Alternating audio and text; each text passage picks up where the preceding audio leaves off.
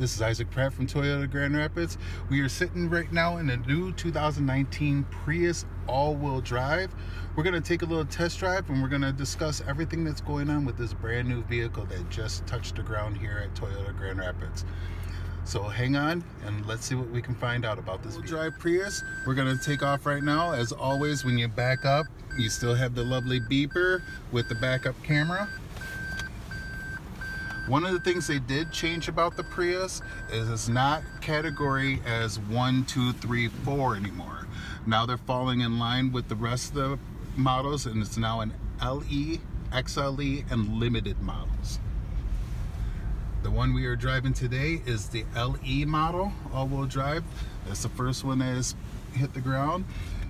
One thing you should know, the all-wheel drive takes part right when you take off in the vehicle the all-wheel drive will stay engaged until we reach about 47 miles an hour which then because of the fuel efficiency of the Prius will switch to two-wheel drive. And that's all done with a second electric motor that knows when to disengage itself and when to engage itself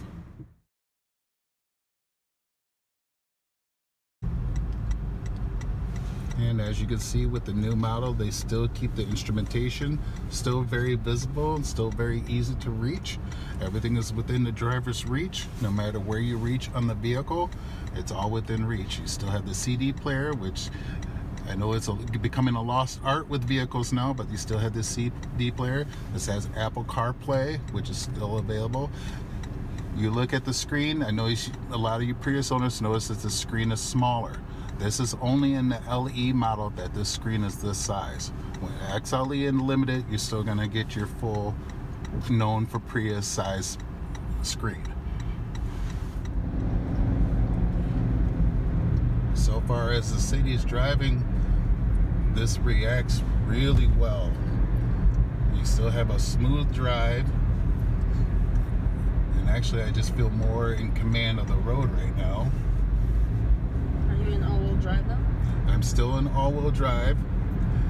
When it feels at this point, one of the things that the new Prius does, as we're in this point of around 40 miles an hour or so, your vehicle's gonna know if it's gonna need the all-wheel drive or not.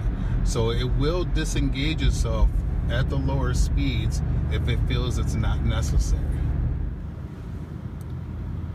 And I know a lot of people talk about the all-wheel drive, oh, it's gonna detriment my gas mileage because of the technology that they use your all-wheel drive is not always engaged. It only appears when you need it.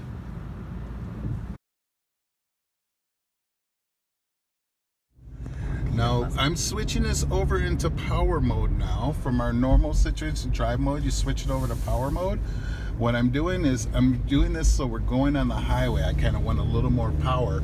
So when you switch it into power mode once I get around this curve, I'll be able to step on the gas and, and get up to speed almost instantly.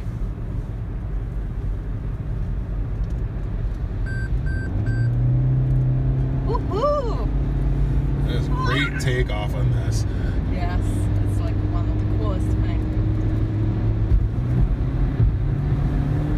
They short on ramp, no problem getting onto the highway at speed that power mode just allows you to switch it. And you notice when you're in power mode because it will say power mode and the screen in back will turn red.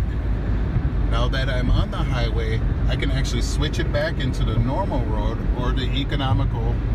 And what it'll do is see the back screen will change so it lets you know what screen you're in. Mm -hmm. now at this speed as I was talking earlier the all-wheel drive is disengaged completely now we're on solid surface traveling at a at speed limit which is about 70 and so that electric motor that controls the all-wheel drive will disengage because it knows you do not need it at this speed and it, and it does that to better your fuel economy.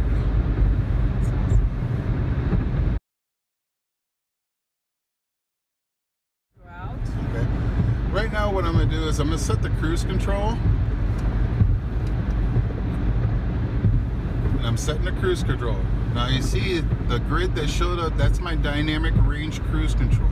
Uh -huh. Now I have that on right now.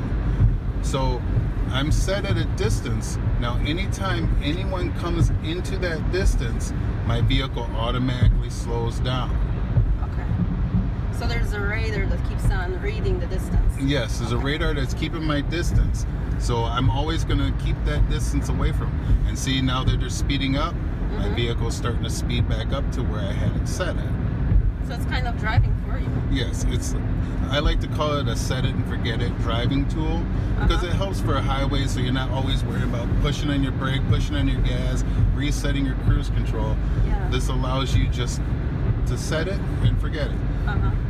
So now that I have my speeds, my, I'm up to my speed, I still have my distance. And as someone enters, my Yeah. vehicle slowed down. Yeah. And yeah. now it's speeding back up. and you're not touching gas I'm not touching the gas pedal, I'm not touching the brake. This is all doing it all on its own. Okay.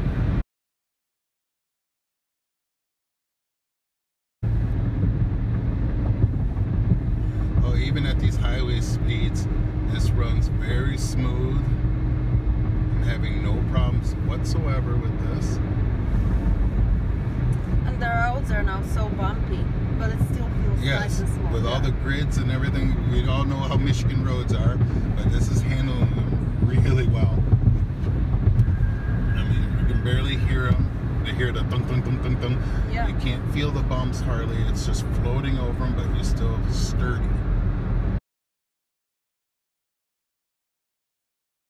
That was the pre-collision system. Pre-collision system is it's all the actions that Toyota has put into the safety to keep you from it's a accident preventer. Mm-hmm. What it does is say, for instance, I'm driving behind this vehicle right now. Yeah. If I don't pay attention, if I'm not paying attention, or I have no indication that they stopped, and I'm just coming up to them full speed, the vehicle's going to start the action of stopping for you. What it's going to do is start preparing the brakes, preparing the airbags, everything. It's going to start slowing the vehicle down. Mm-hmm. And it's going to bring your attention, hey, you're in imminent trouble right now. Yeah. It's time to take action. And Are you slowing down? Is the I'm slowing down Oh, myself Okay. because because we're off the Yeah. highway and bel below the distance. The Oh, I range see. cruise control is not active right now. Once I get out of cruise, Would you compare this ride to another Toyota, like a Corolla or a Camry? Is there another one that you would? I would actually, for comfort and ride, for space, I would compare this with a Corolla because it's you know we got it's a smaller vehicle Mm-hmm. and it still has all the safety features that you need, which are standard. For ride, I have to put it between somewhere between a Corolla and Camry Mm-hmm. because I mean it is a great ride. I'm enjoying the ride of this, and it's smooth, Yeah. but still it's compact, so we know we can get into the tight spaces.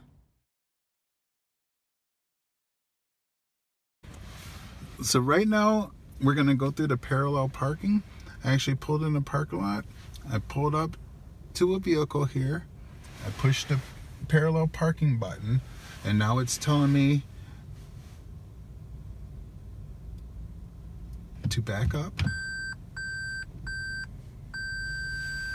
I'm not touching the wheel right now.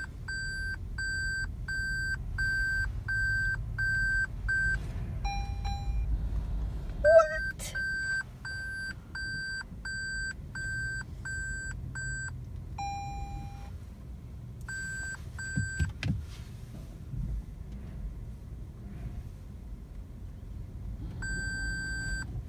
And that is your parking assist. no hands on the wheel, and all I had to do is put it in reverse and drive. That's awesome. I'll even roll down the window so you can see my Cool. Cool. I don't know if you want to show the button at all. Um. Yeah. Just talk to me. Oh. What are you doing? Just so you know, we're gonna do the parallel parking from the outside so you can see what it looks like. I'm gonna have the window down so you can see my hands. But to engage the parallel parking, there is a button here that says P and it has a steering wheel. All you have to do is push that button and it's gonna tell you what to do after that. Okay. Let's see it. My hands are gonna be here. All right.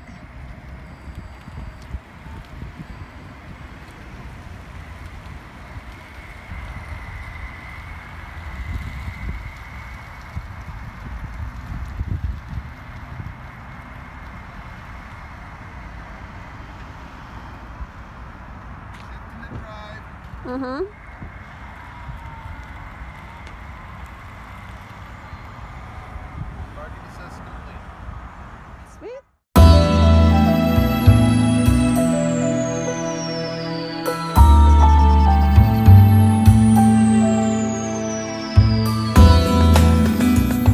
Just wanted to show you something that's a little different on the Prius. Everyone knows the Prius back ends have the zigzag long nights. What they did is they changed it back so you have the smaller looking headlight, I mean tail lights again. So it's given a new look with the new design. So hopefully you enjoy that as much as the rest of the vehicle.